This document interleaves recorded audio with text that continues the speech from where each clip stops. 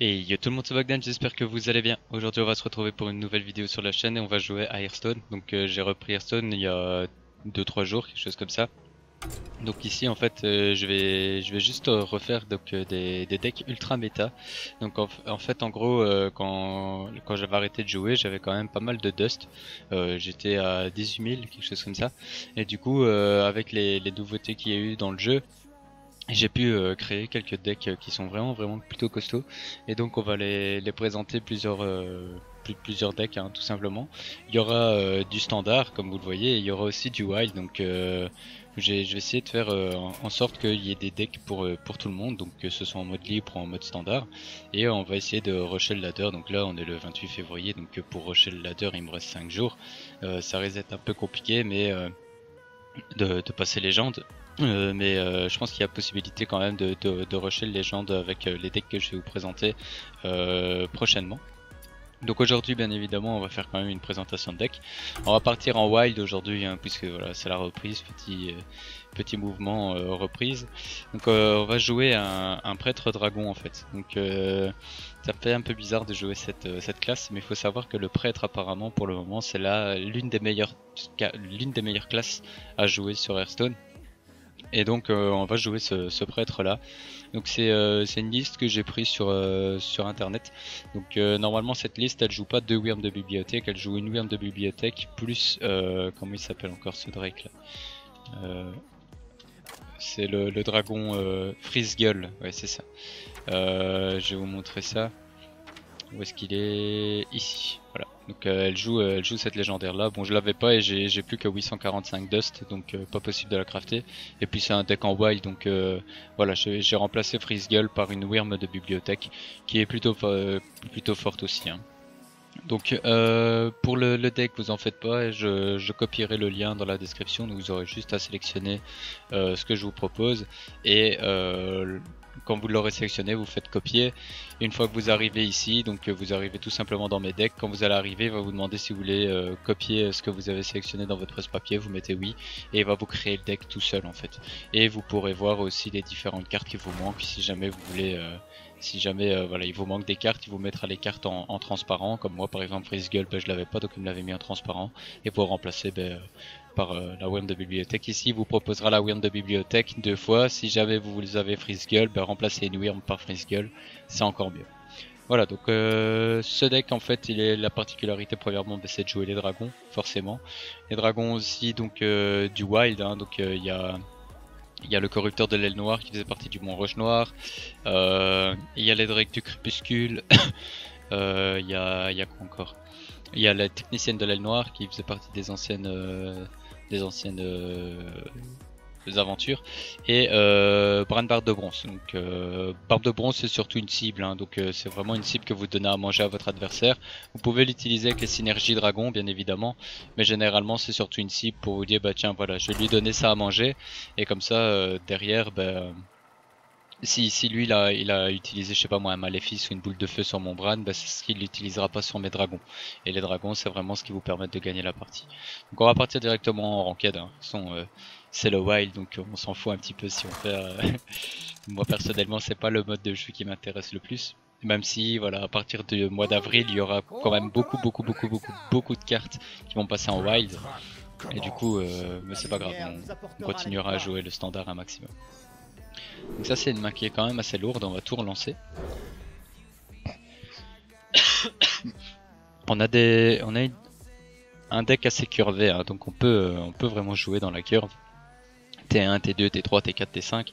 Voilà, on chope, euh, des cartes qu'on voudrait pas trop avoir tout de suite. La Wyrm de bibliothèque, ça peut être pas mal. En plus, elle combat directement parce que j'ai deux autres dragons en main. Mais bon, c'est très très lent hein, là comme main. Ah super, on chope un T1 et en plus comme on a une synergie dragon en main, il passe 2-3. On va saluer l'adversaire. Bon, ça c'était pas du BM, hein. c'est juste pour dire euh, bonjour. Euh, normalement, il faut le dire avant, comme ça au moins ça passe pas trop pour, euh, pour du BM. La pièce et un secret. Donc là, ça peut être un givrant, comme ça peut être un piège explosif ou alors un donc euh, une, prise pour cible, donc quand, je vais taper, il y a une cible qui va apparaître et ça va taper. De toute façon, je dois frapper, donc euh, on verra bien. C'est un explosif, ok, super. là, c'est un peu mal joué parce que je peux le heal, donc... Euh... Ok. Euh, il joue peut-être la carte euh, pour 5 de mana qui donne des 3-3. Donc, je sais plus le, nom, c'est un, un, rubis ou un diamant, enfin bref, je, je, sais pas le, nom. Bah, en gros, plus vous la boostez avec vos sorts comme ça, donc les, secrets, et vous arrivez à faire justement un, au, T, au T5, bah, euh, vous allez invoquer 3 voire 4 3-3 sur le terrain pour 5 de mana, c'est vachement fort cette carte. pour le moment il joue assez lentement, je sais pas trop ce qu'il peut jouer, il a joué un secret et le reste du temps il a tapé avec son Hero Power, je sais pas trop ce qu'il joue. Nous on a un Drake du Crépuscule là qui est enfin dans la curve. Et à partir des prochains tours, on va pouvoir jouer un peu de tout. Je vais jouer surtout ceci, hein, l'agent draconide, parce que ça c'est surtout une réponse pour infliger 3 points de dégâts à, un adversaire éventuellement, s'il décide de mettre quelque chose sur le bord d'un moment ou un autre. ah, désolé, je suis, encore, euh, je suis encore un peu enrhumé, je tousse encore un petit peu.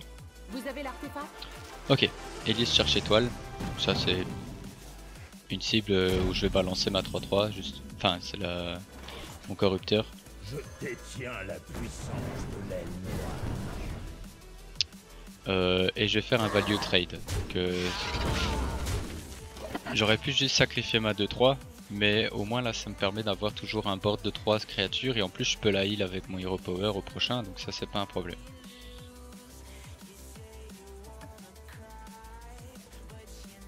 On aurait pu se dire aussi d'attendre le prochain tour pour le tuer avec la Wyrm de bibliothèque, mais bon, c'est pas plus intéressant. Par contre, le fait qu'il ait joué Elise cherche étoile, ça veut dire que c'est un deck très contrôle. Du coup, on va voir un petit peu ce qui nous sort, le copain. Donc là, il peut venir me chercher ma 4-3. Ok. Donc en gros, le, chapeau, là, quand il va suicider sa créature, le chapeau va revenir dans sa main. Voilà, donc là, il a récupéré le chapeau. Et moi ça je vais pas la laisser sur le board, je vais la tuer. Pour éviter qu'il euh, ne puisse remettre encore trop de monstres chiants. Donc là je vais essayer de recycler un petit peu.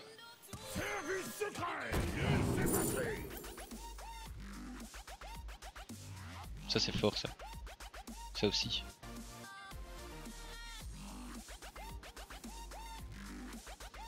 Je vais prendre ça. Les monstres ont déjà énormément de, points de vie et d'attaque. Mais si ça peut tomber sur celle-ci ou celle-là, c'est quasi auto-win en fait. Sur ces deux-ci, peut-être un peu moins. Mais sur, euh, celle-ci ou celle-là, ça va euh, ça va faire trop mal. Et en plus, ça me permet d'avoir un tour 7.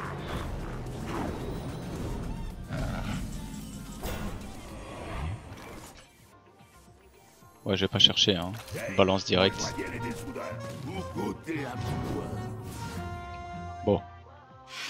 C'est tombé sur la Wyrm malheureusement. J'ai un value.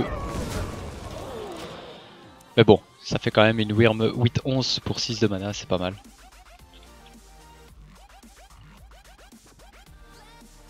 De toute façon, j'ai létal en main. Enfin, on board, j'ai 15 points de dégâts, il a 12 points de vie, donc... Euh... Je pense que j'ai mis létal en plus. Faudrait que je revoie ça. C'est pas suffisant.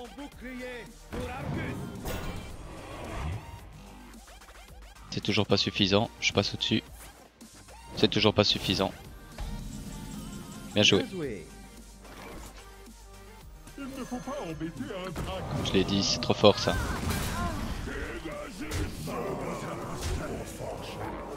Et on a l'étal. Elle a de la gueule en 8-11. Hein.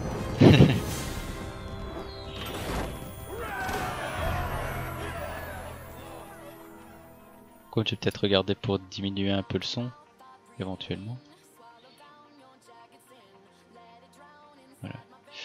Donc première win. On va relancer. Hein.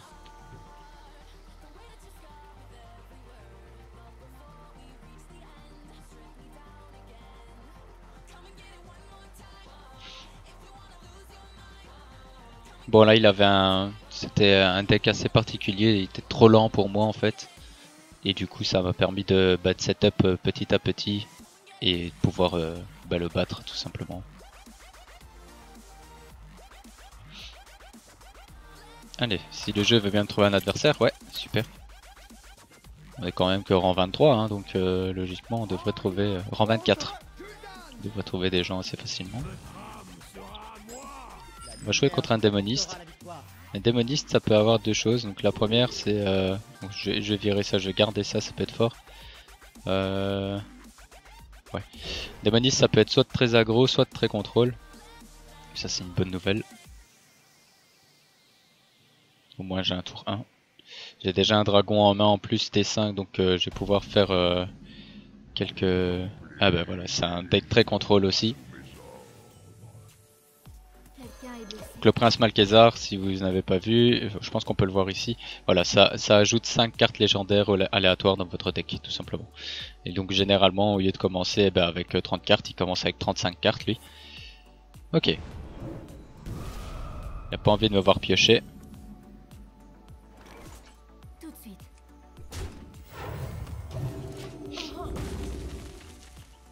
C'est pas grave. Au prochain tour, j'envoie mon rampeur. En plus, je pourrais le booster en PV. Du coup, j'aurai quand même une, un beau taunt. Succube, ok. Ah non, c'est pas la succube ça, c'est la maîtresse de la douleur, pardon. Oh bah c'est encore mieux ça. Et du coup, même si ça peut pas le tuer lui directement, c'est pas grave, je vais pouvoir booster ses PV et avoir une 3-8. Donc euh, bien casse-couille.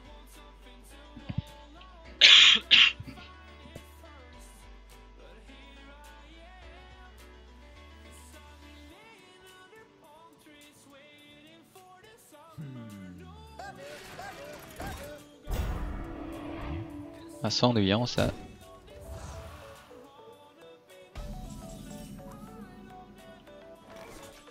Du coup je vais taper une fois ici. Et je vais mettre mon taunt. Alors c'est une 1-5 ici, mais quand je vais passer mon tour, vous allez voir, elle va passer 3-5. Donc autour de l'adversaire, en fait, elle gagne 2 d'attaque. Et ce qui me permet de tenir ben, son tronc ici. Et euh, la succube, euh, ben, enfin la, maîtresse de la douleur, pardon, ne peut pas, euh, mourir, mais elle peut pas le tuer non plus.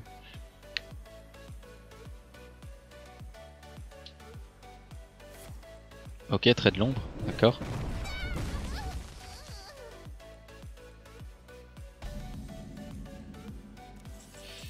Il joue pas, mais du coup, moi ce que je vais faire ici, c'est mettre celle-ci.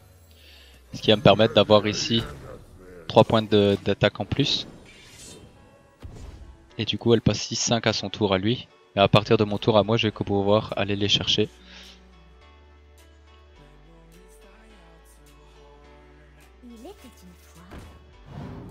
Ok.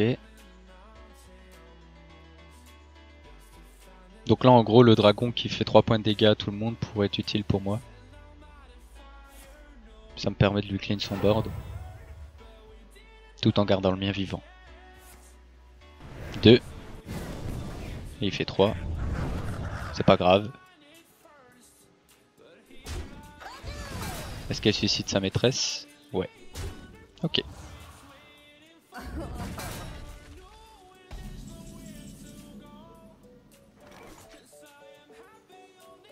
Hmm. Ici j'ai plusieurs plays possibles.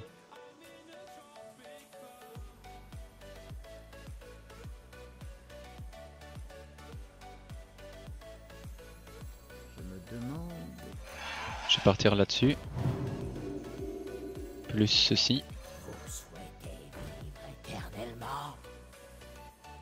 Celle-là.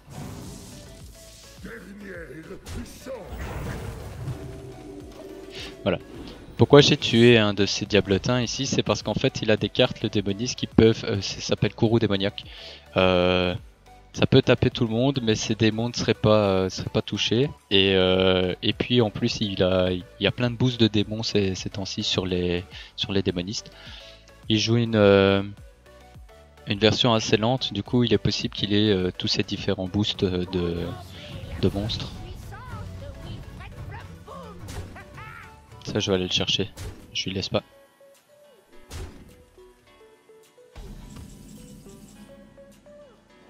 Bah super.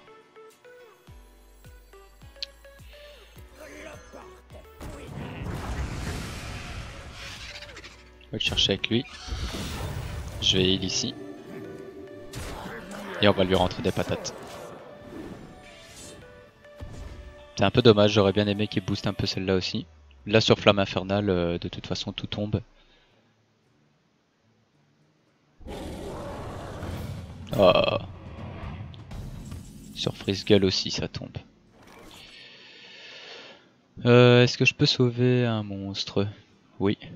Je peux sauver ma 5-2. Je peux sauver aussi la 9-3. C'est peut-être mieux. Du coup je vais la heal maintenant.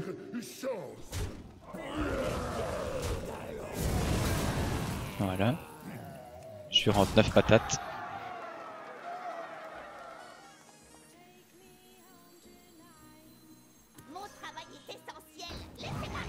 Et je vais floute le board.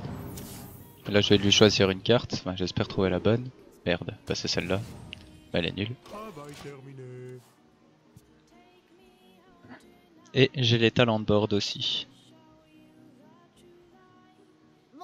Mais bon, une F1, il peut aller la chercher assez facilement, je pense. Ok, c'est un démoniste dragon qui a fait une, une sortie un peu bof bof.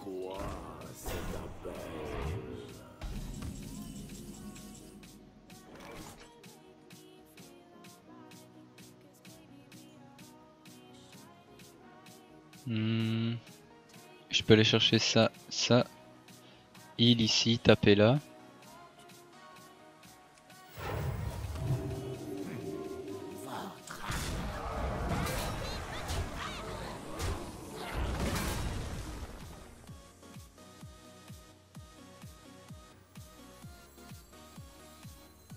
Je vais mettre ça, même s'il a pas beaucoup de PV.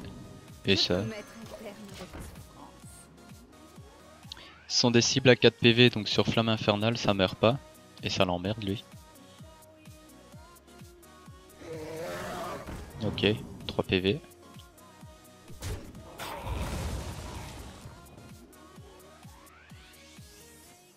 J'ai 8. Donc il peut pas live tab. S'il pioche, il meurt.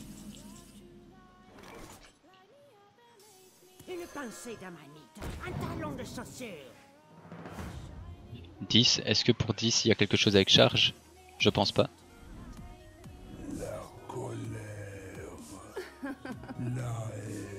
Mais bon là de toute façon euh, je suis trop proche du létal que pour, euh, pour passer là-dessus. Et je me heal moi. De toute façon il peut aller chercher celle-ci c'est tout. Le reste ici à, point, à moins d'avoir un néant distordu il va rien prendre du tout.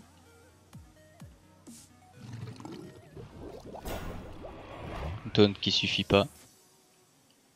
Puisque je passe dessus et il reste que 2 points de vie. Et avec profanation, il peut rien venir chercher. Donc il est rect. Euh merde, je voulais mettre bien joué. Bon, c'est pas grave.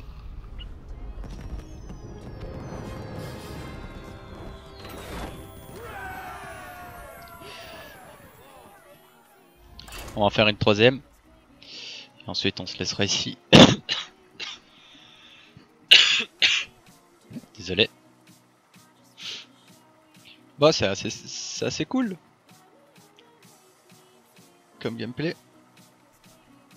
Donc les dragons c'est vraiment quelque chose d'assez fortiche. Hein. Du coup pour venir à, bout de ça il faut soit avoir énormément énormément de contrôle, mais alors avoir de bonnes cartes. Donc ici on a vu que mon adversaire euh, bah, il pouvait pas vraiment faire grand chose malheureusement. Il a été submergé. Oui, on va jouer contre une mage. Alors mage, bah il peut jouer euh, mage mecha, il peut jouer, euh, il peut jouer plein plein de choses. Hein. Ici on a quand même une belle main. J'ai un clean éventuellement au tour 3. Euh, j'ai un bon tour 2 aussi. J'ai un autre clean pour le tour 6. Il y a juste celle-là qui est peut-être euh, pas nécessaire tout de suite. Peut-être pour aller chercher un tour 2 à la place. Ça j'ai T2, T3, T4 et d'ici là, bon bah, j'ai un deuxième T3 c'est pas mal. Du coup j'ai mon T2, T3, T4. T4 ça c'est situationnel. Voilà. Ok, joue mage mecha, exactement. Ok, super. Donc on va essayer de forcer un ping. En gros là je lui donne pour moi le tuer aussi, et le forcer à ping derrière. Ok, éclair de gifle, carrément. Ça me va. L'éclair de gifle qui vient de passer sur elle, c'est l'éclair de gifle qui passera pas sur ça. Et là j'ai une 3-5. Donc soit il a un deuxième éclair de givre. Et auquel cas, bon, ben, tant mieux pour lui. Soit il a rien et à ce moment-là, je peux venir faire un petit trade et lui redonner 3 PV en plus. Ok, portail. Donc là, il a un sort. D'accord. Ok. Ça, c'était une erreur de la part de mon adversaire, par contre.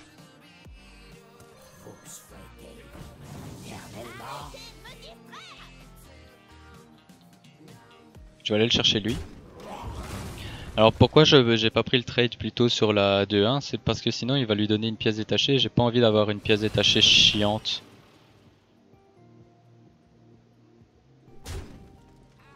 Il joue pas très bien. Quelque part tant mieux pour moi. Hmm. Là je peux lui raser son board et tuer le repop.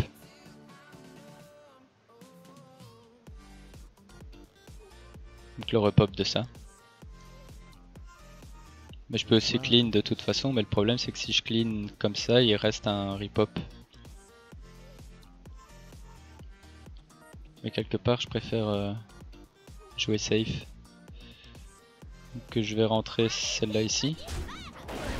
J'ai en train de value. Je vais faire ça. Et je vais aller chercher celle-là. Et je vais même mettre ça. On continue de mettre du board. Il faut que je l'agresse un maximum. Ça, je pourrais l'utiliser pour euh, d'autres choses plus chiantes. Donc là, c'est si floute par exemple sur le terrain. Ok. C'est pas encore trop dérangeant. D'accord. Je vais le heal tout simplement.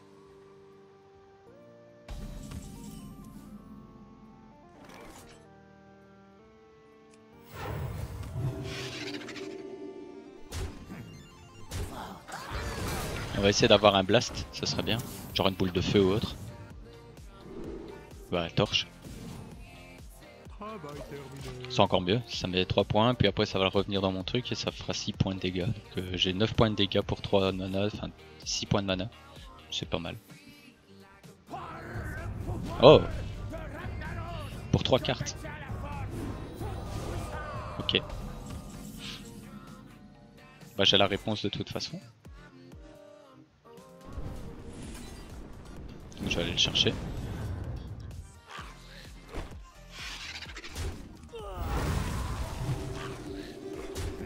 Et on va rentrer les points de dégâts. Donc là, mine de rien, je mets 6 patates à tous les tours. Il y a eu juste 3 cartes. Il a pu réduire. Il espérait que je, je spam tout mon board dans son Torisan. Mais heureusement pour lui, ben, j'avais la réponse. Donc là, dans mon deck, il me reste un contrôle mental et... Euh, j'ai oublié la carte pour 8 de mana le nom de la carte pour 8 de mana. du coup, prochain, donc là j'ai une chance sur deux d'avoir un, monstre euh, à 10 points de mana sur le board. Ça, je vais la chercher avec celle-ci, c'est pas grave. Tout dépendra de ce que ça me donne ici en fait. Ouais, quoique. Je peux aussi jouer la Wyrm en fait. La Wyrm c'est fort ici. Ça me permet de garder deux, deux monstres. Et lui ça l'ennuie parce qu'il la ping exprès pour venir la chercher et il arrive pas à venir. Du coup, euh, bah get wrecked.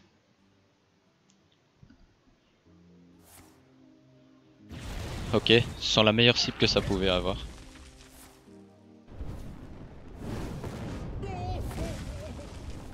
D'accord, bon il a utilisé quand même pas mal de blast pour le moment. Donc là je vais pouvoir y aller comme ceci.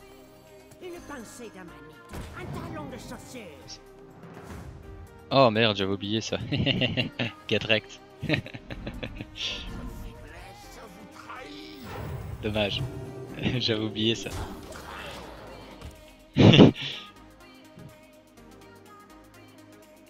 bon, ça fait toujours une 3-3 pour 3, c'est pas mal. Portail connecté. Ouais, de toute façon, là, c'est terminé. La pièce, c'est quoi? Un remontoir, ok. Il va le rejouer pour avoir une autre pièce. Ouais. Encore remontoir?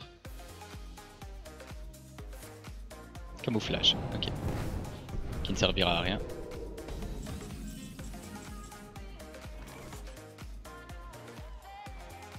Puisque j'ai de quoi raser son board. J'aurais dû taper avant. J'ai mal joué. À cause de ça, je perds deux créatures.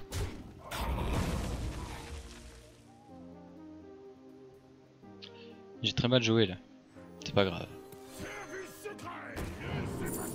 Hmm. il, a, il, a les deux. Je vais choisir ça.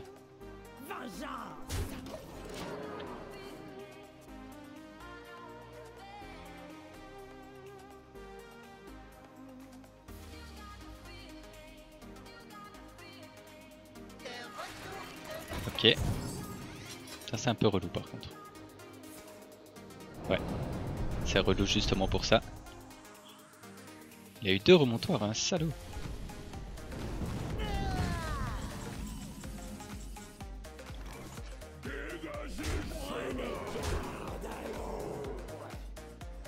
Je détiens la puissance de Du coup on va setup.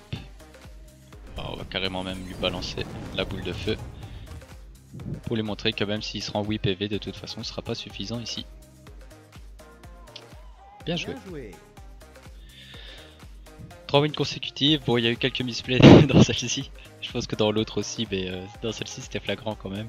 Euh, le premier misplay c'est avec la torche. Et le deuxième display c'est que j'aurais dû taper avant parce que de toute façon je mettais 3 points de dégâts et une cible qui avait 3 points de vie donc euh, Dixit. Et c'est pas suffisant. Vous avez gagné. Bien joué. Voilà les potes. Bon. On passera en 22, bon ça ça va aller vite au début de toute façon. Voilà donc c'était euh, un petit gameplay donc euh, curé dragon en wild. Donc euh, liste ici qui est quand même assez forte, dont le, de toute façon qui se retrouvera dans la description les gars. Donc euh, juste copier-coller la, la decklist et vous pourrez avoir le, tout. Voilà, donc j'espère que cette vidéo vous aura plu. N'hésitez pas à me dire dans les commentaires si Hearthstone est un jeu qui vous intéresse sur la chaîne. Quoi qu'il en soit, de toute façon, j'en ferai quand même. Donc même si vous aimez pas, j'en ferai quand même parce que moi j'adore ça. Euh, ça. Décompresse de temps en temps. Voilà, ça change un petit peu de Arena of Valor ou de League of Legends ou, autre jeu. Et voilà, donc euh, j'espère en tout cas que cette vidéo vous plaira. D'ici la prochaine vidéo, portez-vous bien, mieux que moi en tout cas. Euh, si vous avez la grippe, ben, soignez-vous bien les gars. Et je vous dis à très bientôt pour une prochaine vidéo. C'était Bogdan, ciao tout le monde.